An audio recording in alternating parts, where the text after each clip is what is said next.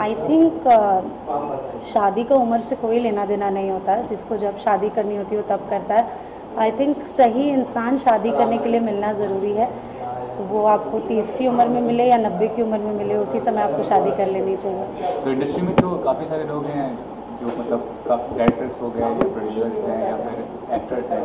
कोई ऐसा पर वो ही अपनी पसंद का होना चाहिए ना है तो करोड़ लोग अभी बाहर निकलेंगे तो पचहत्तर आदमी मिलेंगे सबसे थोड़ी शादी कर सकते कोई पसंद का मिलना चाहिए जिसके साथ जीवन बिता सके आदमी ऐसा कोई ऐसा कोई कनेक्ट किसी के साथ होना चाहिए तब ना शादी करेंगे।